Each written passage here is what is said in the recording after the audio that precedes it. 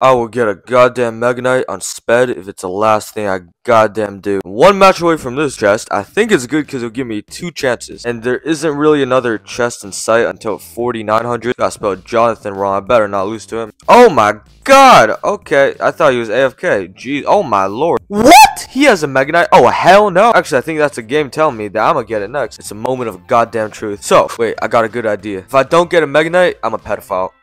There's no way I don't get it now. There's no way I don't get it now. Wait a second. Is it only gonna give me wild cards? You better fucking not. Fuck! Are you? Oh wait, no. I think I might get another one though, right? Fuck you! Yes, yes. I got another legendary chance. Please. Yes! Yes! Yes!